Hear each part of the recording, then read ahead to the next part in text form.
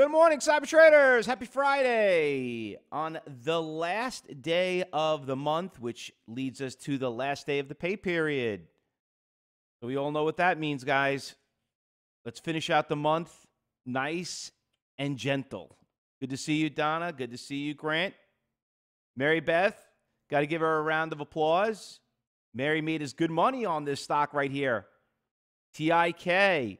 Remember what I, tell, I told you guys when you joined the team?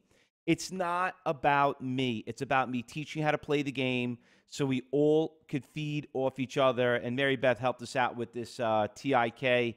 And I think we all, pretty much everyone here that logged in early, got made good money on it. Didn't come up on my radar uh, a little bit, a little bit, uh, a couple of minutes later. But good thing she called that out. We did really well on that. But uh, that was a great call.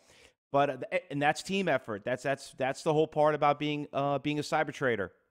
You know, be you know, be able to work together like a team. So great call. But anyway, big, big winners so far in the TIK already. I know a lot of us already did pretty well. Um, Eight o'clock this morning, it started right around three three dollars, and you can see already ran to about five twenty. I know a lot of us chased it right around 360, 380, and uh, you know, and then we, you can see it went all the way to 480. But I, I think a lot of us did pretty well on that.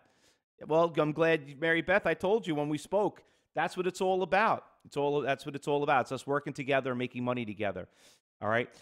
Uh, and you can see it's up 100%. But there are a couple of other stocks here on the list that we're going to keep an eye on. I'm, I'm really focused on this solo. I'm really curious what's going on with this one right here. Uh, I feel like it's going to be a little sleeper right here, but I got my eyes on it. I'm in it right now, so we're going to um, let's see how, how it plays off at the open. I just don't like it doesn't trade that much movement, but she did take a big hit uh, over the course for a long time. So let's see if see if somebody comes in there. But I'm seeing some big orders pop up over here from nowhere. Great iceberg orders out here though on the solo. So keep an eye on that. But let's talk about what happened yesterday, guys, because yesterday was a, was a huge home run. Um, I want to start off with the TNXP trade. Uh, that one, guys, 8 o'clock this morning. You look at it right here. Stock ran from $5, and this is in the pre market. I was pretty much done in the pre market, and I know some of you also. Ran from 5 all the way to 750 and then it backed off. And then in the middle of the day, it just ran all the way to 950. Now, I, regardless, remember what, you always, what I always tell you great traders, we never buy at the bottom and we never sell at top. We always buy in between. But I know a lot of you guys did great, made a lot of money on it. Uh, I even put a, a, really good YouTube video uh, from yesterday about all of us trading it. So that was great. I think that was our biggest winner right there. There were a couple other ones. Um, ANF also did really well, came out of the gate, went from 19 all the way to 21. You could see everything kind of makes us move early in the morning. That's where we make most of our money. Uh, a few other one I want to I just want to hit Y E T I.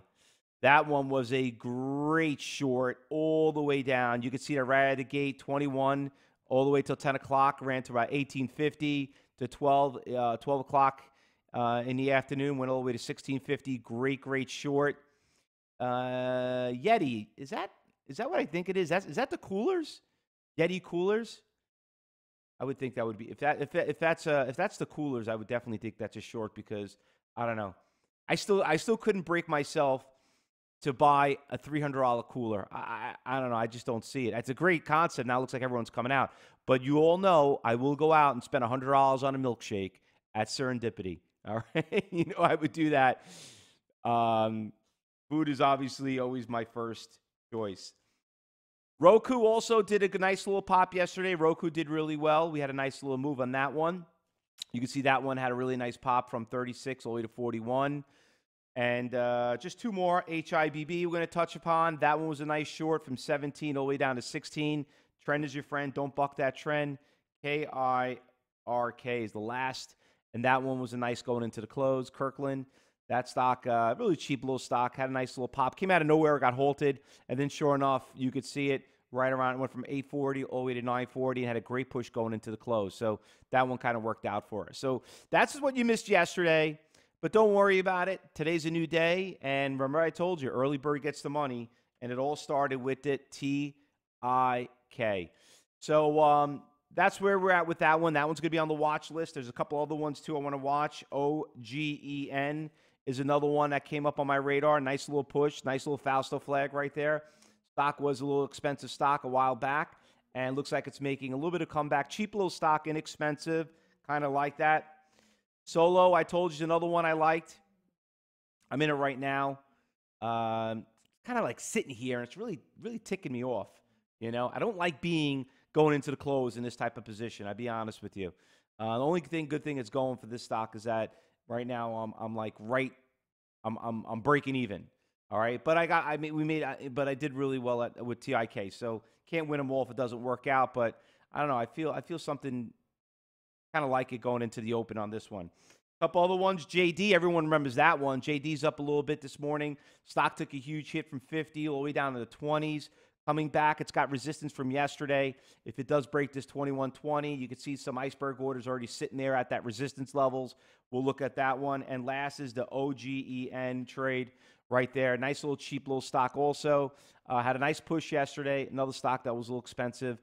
Uh, took a really big hit. Some of you remember this. We traded this stock back here uh, where the stock went from a dollar to four dollars in one day. So that we know does move. And you probably go back in your journals and you'll see it. Ken says that is garbage. I know. Listen, well, sometimes they are, sometimes they aren't, and we all know we're all here for the same reason to make money. And if they're garbage, we want to stay away from them. All right, guys. So um, that's really the watch list that we got going on. Remember, today is Friday, and with Fridays, we know going into the weekend, um, you know, it's don't really get that much action on a Friday morning. And not only that, but a lot of traders don't like to get too creative on the last day of the pay period, just like we do. But let me tell you this you got classes that are going on right now. We got phase three going on next week. Best time to learn. Make sure you're in classroom uh, because we need to learn what's going on. We had a great, great year so far. Uh, probably one of the best October's, November's I had in years, I'll be honest with you.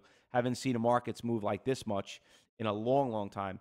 But we had a great, great month, and uh, you know, and now you have to analyze it, and now you need to know what we taught you in class about your journals and about your monthly journals. It's time to realize: Are you ready to go to the next level? Are you going to go from a two to a trader three? Are you going to go from a three to a four? Are you, are you still breaking even? Don't go anywhere. Are you losing? Then maybe it's time to take a step back.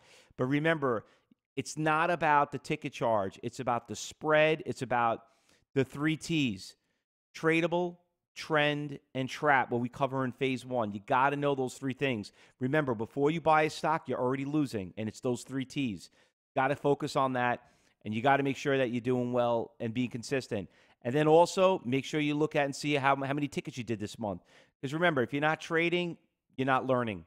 It takes a thousand trades before somebody makes money. And it sounds like a lot, but it's really not. If you're doing your five, ten trades a day that you're supposed to as a day trade, you should be fine. And it doesn't mean that you're trading a lot of shares. It's all about learning and building up that consistency. But watching does not make money.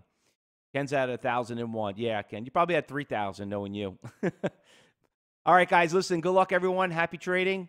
And if I don't see you in the afternoon meeting, have a great weekend. But uh, let's see what we can do going into this close. And if you're new to CTU and you're new to the Cyber Group room, like uh, like we always say, just look, listen, and learn, and you will learn. All right, guys. Good luck, everyone. Happy trading.